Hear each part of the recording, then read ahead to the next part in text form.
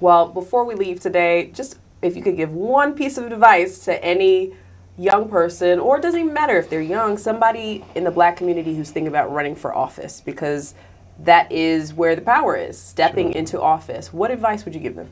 I would encourage young people to just determine what your priorities are and what your values are. What is it that you want to advance? What are the ways in which you want to improve your community?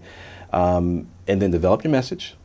Uh, recognize you have to have a message. You have to tell people what you're for, not just what other what you're against. Mm -hmm. uh, that understand that there's still a role for, for money. You have to raise money if you do it in small increments, or, or, or have you do it uh, and then recognize that, that manpower really actually in politics now is woman power but message money and woman power is the way in which you win elections but in order to actually make change in order to use the levers of public policy to do the great things that you want to do then you got to run you got to be in the arena i would encourage anyone who thinks they have a spirit of service uh, to consider running for public office, but also realizing that that's not the only way to serve. That you can you can run community organizations, you can serve at your church, you can serve in your in your neighborhood, but serving is a central part, I believe, of, of, of being uh, an American citizen in some way.